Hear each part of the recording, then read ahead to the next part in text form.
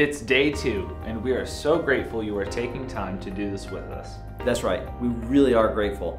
You know, we want prayer to be the best part of your day. That's right, prayer should be your first response, not the last resort. Many of you are fasting during this time as well. You know, Jesus said something really amazing about fasting in Mark 9. We are introduced to a father who brings his demon tormented son to Jesus' disciples, only to be disappointed by the absence of the power they were proclaiming.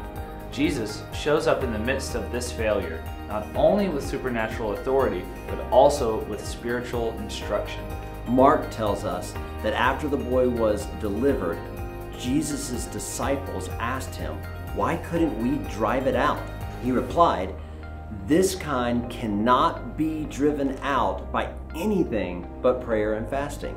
During these 21 days, one of the best things that will happen is that you will become more and more aware of how much you need God. No matter who you are, you cannot do what God has called and created you to do without His help. We hope this quick word encourages you today and leads your prayer times.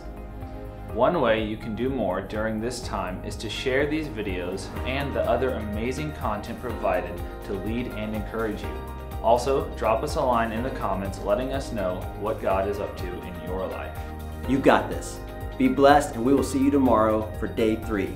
For additional reading of the scriptures, you can find a link in the bio below or at citychurch.life.